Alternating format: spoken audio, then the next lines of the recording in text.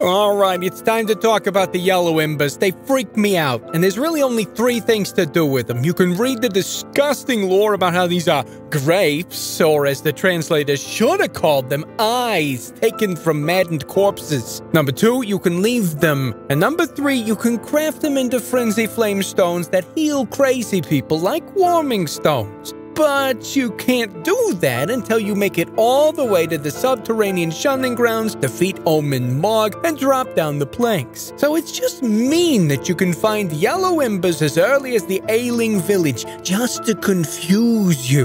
The best farming location we found for these grapes is Yelough Anix Ruins and the consecrated snowfield.